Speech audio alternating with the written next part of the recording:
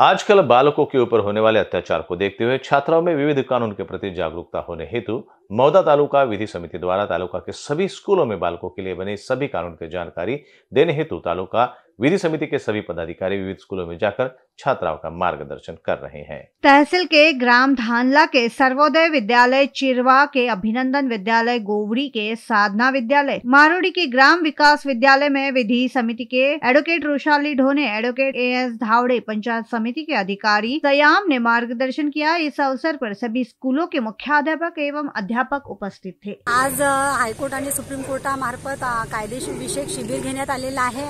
आणि हे शिबिर चिरवा येथील अभिनंदन स्कूल आणि मारुडी येथील मारुडी येथील स्कूलमध्ये सुद्धा तसेच गोवरी येथील स्कूलमध्ये सुद्धा आणि धानला येथील या सर्वोदय विद्यालयामध्ये सुद्धा कायदेविषयक ध्यान ज्ञान देण्यात आलेले आहे.